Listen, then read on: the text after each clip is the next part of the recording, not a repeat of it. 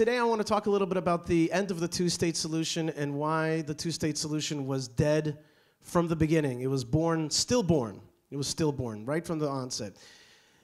And uh, I want to start by telling you a little story that happened to me. You know, I work in Hebron, but strangely, I live on the Mount of Olives. Now, uh, for years I tried to shop in the Arab stores there, but basically after a few years I gave up. I tried to do it in, in order to encourage um, coexistence and those kind of feelings, but I, I, found that they really didn't want me there, and they basically explained to me that, it, that they are victims of the jihad. If I come into their store, somebody else is looking at them, and they're judged.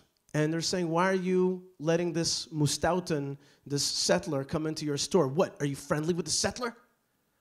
And so they don't want that. And so, therefore, uh, uh, my Arab neighbors are actually quite fearful of being judged by their society around them.